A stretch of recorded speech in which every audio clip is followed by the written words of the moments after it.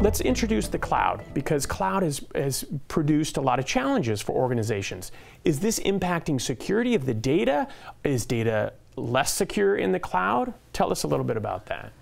Cloud certainly introduces new risks, and whether from cloud infrastructure, cloud administrators, or other cloud customers. Now, Oracle Cloud Infrastructure is highly secured for both physical and network access.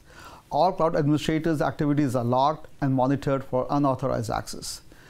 The OS and databases are hardened, security patches are automatically applied, and we encrypt data everywhere, including database traffic, data in your databases, and backups.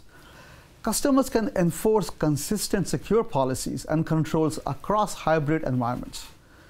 And then Oracle Autonomous Databases free these administrators from the daily repetitive tasks of tuning and patching and backups.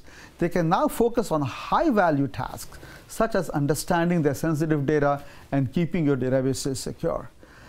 With controls and practices in place in cloud, your data is actually a lot more secure in the cloud. So I'd love to hear a little bit about Oracle's vision on automating security in the cloud.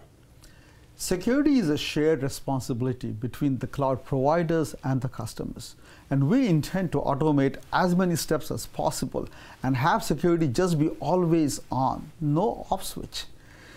Data Security Cloud Services would be one single point of control for most requirements, including your discovery of sensitive data or masking a database for test and dev, and collection of all audit logs for reporting and alerting. And then with pre-built policies and templates, you just point and click. No need to be an expert. So in a nutshell, summarize all this for us. We've been the leaders in database security for decades and the same security is available on premises or on the cloud, managed or unmanaged. And now with automation and machine learning, the security of your data assets on the cloud becomes even better.